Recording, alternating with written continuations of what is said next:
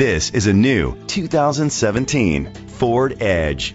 It's powered by all-wheel drive, six-cylinder engine, and a six-speed automatic transmission. The features include a turbocharger, internet connectivity, electric trunk, push-button start, leather seats, heated seats, Bluetooth connectivity, Sirius XM satellite radio, digital radio, digital audio input. Safety was made a priority with these features. Curtain head airbags, side airbags, independent suspension, brake assist, traction control, stability control, a passenger airbag, low tire pressure warning, front ventilated disc brakes, daytime running lights. Let us put you in the driver's seat today. Call or click to contact us.